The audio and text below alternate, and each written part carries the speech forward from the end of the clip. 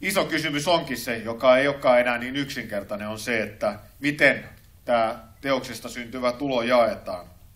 Miten vähennetään tai jopa poistetaan digitaalisen kaupan kehityksen esteitä niin, että koko luovan talouden ketju voisi hyvin.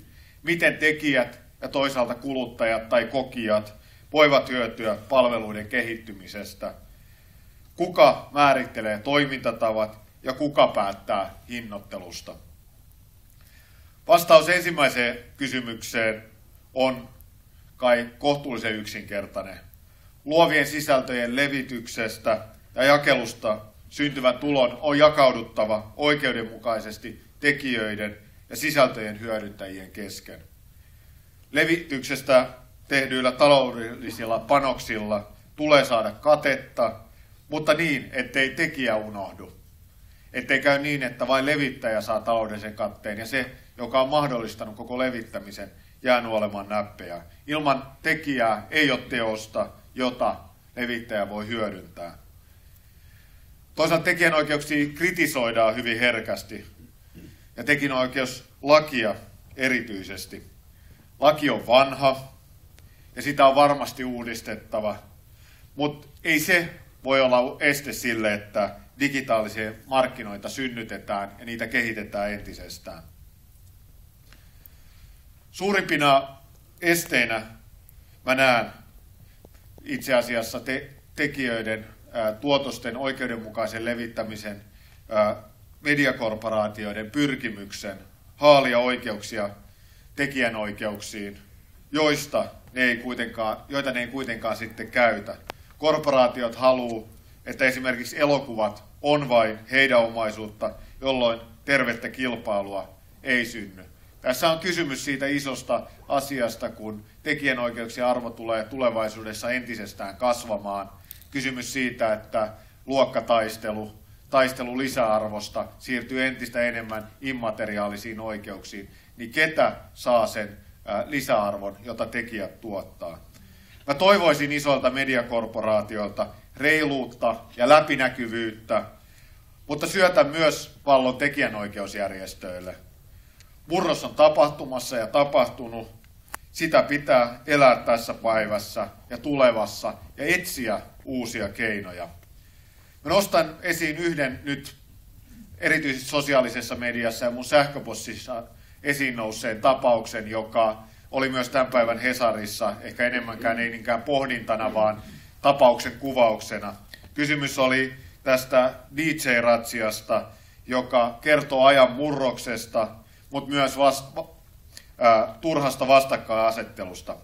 Puhutaan äh, netissä, puhutaan lehdissä Digi-iskusta, jossa 40 ravintolaa ja levyjä soittanutta DJ tutkittiin.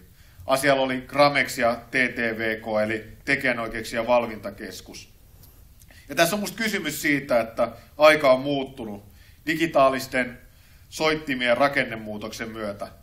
Rajat ei ole oikein selviä, ja tässäkin vastakkain on keskenään hyvin erikokoiset ja muotoiset tahot. Tietynlaisessa, voisi sanoa monopoliasemassakin, olevat yhdistykset ja toisaalta yksittäiset järjestäytymättömät DJt. Ja nyt kysymys onkin siitä, että mitä pitäisi tehdä. Ei ole kenenkään etu, ei ole tekijöiden etu, ää, ei ole, ei ole DJiden etu, että ollaan tämmöisessä kahnauksessa. No ainakin niin kuin ensimmäinen pitää olla se, että lisä, pitää lisätä läpinäkyvyyttä, löytää sellaisia ratkaisuja, jotka elää tässä päivässä. Mä luulen, että tämän asian tuleminen julki nyt on hyvä keskustelun avaus, keskusteluavaus, joka mahdollistaa sen, että tekijänoikeusjärjestöt ja ja niin kuin muuttuva maa, maailmassa toimivat DJt löytää yhteisiä näke, näkemyksiä. Nyt pitää välttää sitä, että tästä ei tule arvovaltataistelu, vaan kysymys nimenomaan siitä, että ratkaistaan tämä ongelma sillä tavalla, että pystytään järkevästi toimimaan eteenpäin. Hyvät kuulijat, mihin asioihin tekijänoikeus sitten vaikuttaa? Miten digikaupan kehittämistä voitaisiin edistää? Digitaalisen kaupan konseptiin on rakennettu sisään ajatus maailmanlaajuisesta kaupankäynnistä. EUn digitaalisissa strategioissa haluttaisiin synnyttää Euroopan laajuiset digitaaliset sisämarkkinat, jotta Yhdysvaltojen nyt hallitsema digikauppa pystyttäisiin haastamaan ja kukistamaan eurooppalaisesta näkökulmasta. Olisi tosi hienoa purkaa esteet, miten me suomalaiset voitaisiin sujuvammin nauttia vaikkapa italialaisista elokuvista, tai miten romanialaiset vois kuulla portugalilaista musiikkia. Sujuvuus on ajatuksena tietysti mainio, mutta sen toteuttaminen on varsin hankalaa. Globaalin tietoverkon Suomien mahdollisuuksia rajoittavat kansalliset tekijänoikeuslainsäädäntömme. Tähän tilanteeseen on EU, EU-ssa yritetty löytää ratkaisuja toistaiseksi varsin laihoin tuloksin. Meillä samaan aikaan pitää olla mahdollisuus itse tehdä lainsäädäntöä, mutta löytää eurooppalaisia ratkaisuja. Kun pitää muistaa se, että, että vaikka puhutaan eurooppalaisista EU-tasoisista ratkaisuista, niin niiden vaikea löytää nimenomaan tekijänoikeuspuolella siitä syystä, että Euroopan unioni ei ole yksi kulttuuri, meillä ei ole yhtä yhtenäistä kieltä. Kulttuurivienti, mitä tässäkin, mistä tässäkin puhutaan, niin se on pitkälle käsityötä. Erilaiset luovan alan tuotteet on pakattu eri tavoin eri maita varten, siinä mielessä käsityötä. Liukuhihnalta ei voi tehdä samanlaisia paketteja, jotka, jotka kelpaisi kaikille eri Euroopan sisällä oleville hyvin erilaisille markkinoille erilaisiin kulttuureihin. Voiko edes ylipäätä kymmenistä kansallisvaltioista koostuva Eurooppa kilpailla ää, lainausmerkissä valtiollisesti ää, yhtenäisen Yhdysvaltain markkinoiden kanssa? Tähän ei kaikkien mielestä edes ole tarvetta. Pitääkö meidän yrittää löytää niin kuin Euroopan laajuista vastaiskua Yhdysvalloille? Mutta jos me halutaan sitä, niin sen toteuttaminen on huomattavasti vaikeampaa kuin Yhdysvalloissa, jossa on ihan toisella lailla yhtenäiskulttuuri kuitenkin kuin Euroopassa. Suomelle tietysti tämä kysymys on sen takia erityisen tärkeä, että me ollaan korostettu pienten kulttuuri- ja kielialueiden ominaispiirteiden huomioimista. Euroopan digitaalisissa sisämarkkinoiden luomisessa tällä on suuri merkitys. Euroopan unionin ratkaisut tekijänoikeusasioissa ei saa vaarantaa suomalaisten tekijöiden ja kansallisten to- toimijoiden toimintamahdollisuuksia. Hyvät tekijänoikeusihmiset, tärkeä asia digikaupan kehittämisessä on myös kuluttajapalvelut. Jos niitä ei ole tai palvelut on hankalia käyttää, kulutus suuntautuu kohti laittomia lähteitä. Aineistoa hankitaan sieltä, mistä ne on helposti ja varmasti saatavissa. Ja tämä on suuri haaste meille, jotka on sitä mieltä, että tekijöiden pitää saada toimeentulo, pitää olla luvallisia kanavia, josta maksetaan tekijöille korvaus käytetystä materiaalista. Mutta jos kanavat tähän ei ole riittävän hyviä, niin helposti hakeudutaan käyttämään sellaisia kanavia, jotka on laittomia. Piratismin kitkeminen ei ole helppoa, koska valtio ei pysty ryhtyä sensuroimaan kaikkea internetin toimintaa ja ei edes pidä. Esimerkiksi erilaiset ehdotukset estomääräyksistä tai varoituskirjan menetelmistä on tosi radikaaleita toimenpiteitä siitä näkökulmasta, että mikä on sananvapaus, mikä on vapa, vapaus ilmaista itseään netissä. Mä ymmärrän, että kapeasti tekijänoikeuksien näkökulmasta – niin kaikki keinot, joilla pystytään rajoittamaan nettiä ja luvatonta tai laitonta ää, käyttöä, piratismia, niin kapeasti tekijänoikeusnäkökulmasta ne on hyvä ottaa käyttöön. Mutta meidän pitää samaan aikaan miettiä, mikä merkitys netillä on, on esimerkiksi sellaisissa alueilla, joissa ei ole sananvapautta, ei ole lehdistönvapautta, ei ole, ei ole ma- mahdollisuutta toimia samalla lailla kuin täällä. Ja silloin meidän pitää olla hyvin varovaisia sellaisten perusoikeuksien kanssa. Erityisesti kun netti tänä päivänä alkaa olla sellainen perusoikeus, joka kuuluu jokaiselle ihmiselle. Netillä on valtava iso merkitys demokratialle ja ilmaisunvapaudelle, ja sen vuoksi meidän pitäisi keskittyä sellaisiin keinoihin, joilla luodaan kanavia, luodaan mahdollisuuksia luvalliseen ää, kulttuurin, taiteen kokemiseen, kuluttamiseen. Ja toisaalta nimenomaan sitä työtä, jossa tässäkin esiteltiin lyhyesti, kerrotaan, miksi me, me emme hyväksy luvatonta, laitonta toimintaa, piratismia, miten se on pois ihmisiltä ja ihmisten toimeentulosta. Meidän on selvästi sanottava se, että piratismi on väärin. Laiton jakelu ja laittomien lähteiden suosiminen syö luovan alan tekijöiden toimeentuloa. Ihmisten henkilökohtaista vastuuta pitää korostaa, ja piratismin kitkeminen vaatii lisää resursseja, lisää tietoa ja lisää tiedotusta. Mutta meillä on mahdollisuus, kun me ollaan luovia, toimitaan luovilla aloilla, yritetään löytää sellaisia keinoja, jotka koskettaa niitä ihmisiä, jotka käyttää nettiä. Spotify on esimerkiksi osoittanut sen, että riittävän helposti käytettävä laillisten ja maksullisten palveluiden saaminen verkossa vähentää laittomien aineistojen käyttöä. Uusia keksintöjä kaivataan edelläkin tällä saralla, ja sellaisia, jotka on kuluttajalle helppoja ja te- te- tekijöille toimeentulon turvaamia.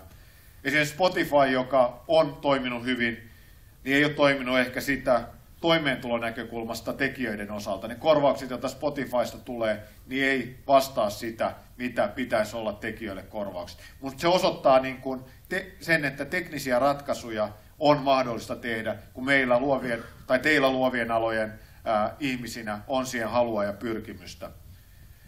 Toinen, jonka nostan esille, on televisio-ohjelmien verkkotallennuspalveluiden suosio, joka on kasvanut valtavasti. Samaan aikaan niiden lainmukaisuus on kuitenkin kyseenalaistettu. Tekijänoikeustoimikunta on tarkastellut näitä palveluita mietinnössään ja keväällä olleen lausuntakierroksen tulosten perusteella pitää katsoa, millaisia ratkaisuja niiden osalta kannattaa kehittää. Tämä kuvastaa sitä, että koko ajan meidän pitää yrittää katsoa eteenpäin, vastata tämän päivän haasteisiin, mutta jo nähdä, että minkälaisia uusia haasteita meille tulee tekniikan kehittyessä. Hyvät ihmiset, hyvät ystävät, opetus- ja kulttuuriministeriö on, ministeriössä on aloitettu tekijänoikeuspolitiikan uusien linjausten valmistelu. Mä asetin tätä varten tekijänoikeusasioiden neuvottelukunnan. Se jäsenistö on ennen muuta tekijöitä, tekijänoikeusihmisiä, mutta myös tekijänoikeuskeskustelun äärilaitoja edustavia ihmisiä. Tämä herättää varmasti mielipiteitä ja asettaa haasteita.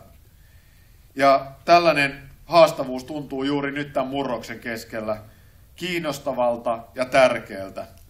Tämä neuvottelukunta ei ole lainsäädäntöelin, vaan sen tarkoitus olisi edistää yhteistyötä ja keskustelua vastakkaisten tekijänoikeusasioita edustavien tahojen välillä. Tämä voi olla hankalaa, että esimerkiksi miten mä keskustelen niiden kanssa, jotka verkkokauppa.comin rahoilla osti mun pärstiä ka- ka- kaupunkien kadut täyteen, kun mä yritin ajaa oikeudenmukaista korvausta tekijöille. Mutta joka tapauksessa tästä huolimatta meidän pitää yrittää löytää sellaisia keinoja, joilla me voidaan pureutua tähän molemmilta puolilta. Se on tapa, tämä neuvottelukunta pitää yhteyttä eri, erilaisten tekijänoikeusryhmien ja ministeriön ja mun, mini, mun välillä ja löytää, löytää sellaisia ratkaisuja, jotka olisi kestäviä.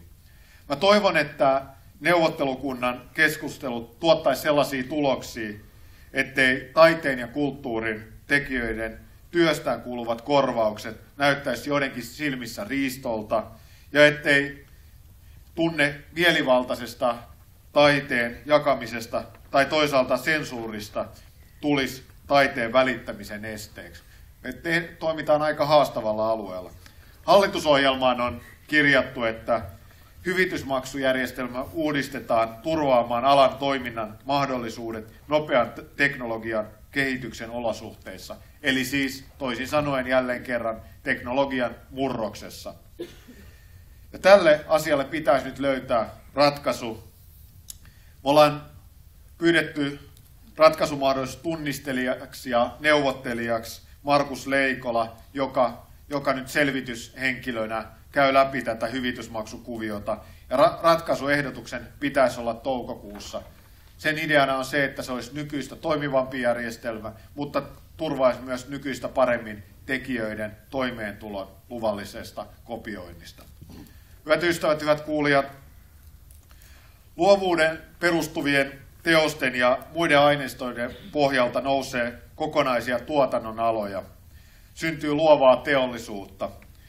Tietoliikenteestä ja verkkoyhteyksistä vastaavat yritykset saa luovien, luovat sisällöt välittääkseen. Digitaalisten aineistojen välityksestä syntyy sähköisiä kauppapaikkoja. Luovat sisällöt on aina ainutlaatuisia. Musiikki, kuvataide, kirjallisuus, elokuvat, lehdet tai tietokonepelit ei kulu, kun niitä käytetään. Ne ei koettele maapallon kestokykyä. Digitaalisessa muodossa olevat aineistot on helposti monistettavissa ja levitettävissä vaikka kaikkialle maailmaan. Mutta luovuudesta pitää huolehtia. Tekijänoikeusjärjestelmän pitää huolehtia siitä, että sen vaikutukset on oikeudenmukaisia. Mä haluan ottaa esille yhden tekijöiden oikeuksiin liittyvän asian, josta tulee oikeastaan viikoittain mulle yhteydenottoja. Kysymys on vastakkainasettelusta media, talon ja vapaan tekijän välillä. Perusasetelma on se, että jättiläinen pakottaa avustajansa allekirjoittamaan sopimuksen, jossa pelisäännöt sanelee käytännössä yhtiö yksi. Tämä tarkoittaa kertakorvauksella yksinoikeuksia tekijän tekemästä sisällöstä. Yhtiö siis saa yksinoikeuden julkaista avustajan luoman sisällön kaikissa julkaisuissa, käyttää sisältöä vapaasti markkinoinnissa ja mainonnassa, tekijältä erikseen kysymättä. Tätä voi lähestyä konkreettisemmin ja filosofisemmin epäoikeudenmukaisuuden kysymyksenä. Kysymys on sananvapauden, demokratian ja ihmisten oikeuksista. On syytä pohtia, kenelle mahdollisesti vielä joskus kulttuurihistoriassa tärkeät tarinat ja kuvat kuuluu. Kärsiikö suomalainen tiedonvälityksen laatu siitä, että jos näin, on näin tiukkoja sopimusmalleja, tekijät ei suostu sopimuksiin, yhteistyötä ei synny. Kysymys on mun mielestä etiikasta. Tämä mun äsken referoima sopimukseen kuuluu myös se, että yhtiö saa vapaasti muokata sisältöä tekijältä erikseen kysymättä, ja sopimus myös vapauttaa yhtiön juridisesta vastuusta sisällön osalta. Eli kun tekijä vaikkapa tekee haastattelun tai ottaa kuvan henkilöstä X, joka haastaa yhtiön oikeuteen sen käyttämään, käytettyä haastattelua markkinoinnissaan, haastattelun tekijä on juridisesti vastuussa tapahtuneesta. Tai jos avustaja myy yhtiölle ku, kuvan henkilöstä Y, saa yhtiö halutessaan vaikkapa fotosopata henkilölle viikset joutumatta tilille teostaan. Kysymys on siitä tässä yhtä aikaa toimeentulosta, mutta myös oikeudesta siihen, että, että on siihen omaan sisältöön, oman työn sisältöön. Ne on minusta kaksi tekijänoikeuksien perustaa. Toimeentulo ja se, että saa itse hallita ja päättää, missä ja miten itse tehty, tehtyä luovia töitä käytetään. Kun, kun journalismia tehtäessä kysymys on ihmisistä, juttujen kohteista, ei mistään elottomasta materiaalista, niin free-tekijä ei uskalla ottaa riskejä, että jutun kuvaa, juttua tai kuvaa käytettäisiin käytettäisi niin, että se pahimmassa tapauksessa jo veisi tämän tekijän oikeuteen. Ja jotenkin on ymmärrettävää, että mediatalot haluaa oikeudet vakinaisten työntekijöiden sisältöihin, vaikka kyllä, kyllä se edelleen pitäisi kuulua se oikeus luovalle työntekijälle. Avustajilta näin laajamittaisen tekijänoikeuksien vaatiminen ei ole perusteltua. On ongelmallista, että itsensä työllistävä tekijä ja monikansallinen pörssiyhtiö laitetaan mukamas tasavertaisiksi neuvottelukumppaniksi. Ei vaadita hirveän suurta herkkyyttä, että huomaa, että asetelma on täysin vinksallaan. Mutta miten yksittäisen tekijän ja mediakorporaation jättiläisen kohtaaminen voisi tulla kohtuullisemmaksi? Asia ei ole todellakaan yksinkertainen. Vääristyneellä sopimuspolitiikalla tehtävä jotain, kulttuuria pitää muuttaa. Mutta kysymys ei ole vain vääristyneestä, vääristymisestä ja virheiden korjaamisesta, vaan laajemmaa ajattelutavan muuttamisesta. Maailma ei ole mustavalkoinen, se muuttuu ja muutoksen mukana on pysyttävä. Myös tekijöiden, teidän, jotka sisältöä tekevät. Pitää oppia neuvottelemaan, hinnoittelemaan osaami, osaaminsa ja puhumaan rahasta, vaikka se on ikävää. Silloin pitää miettiä sitä, että vapailla työntekijöillä pitää olla myös mahdollisuus järjestäytyä ja puolustaa yhdessä itseään. Ei niin, että jokainen on yksin yksilönä suuria yhtiöitä vastaan, vaan voidaan toimia myös yhdessä. Tämä vastakkainasettelu ei hyödytä ketään. Sopimusten osapuolten pitää kunnioittaa toisiaan, pyrkiä parempaan huomiseen, asettua toisen asemaan ja miettiä, miten löytää keinot ja kyvyt päästä yhteiseen päämäärään. Nyt ei tarvita marttyyreitä, nyt tarvitaan sitä, että meillä on turvattu toimeentulo, oikeus siihen, että sisältö on tekijän näköistä.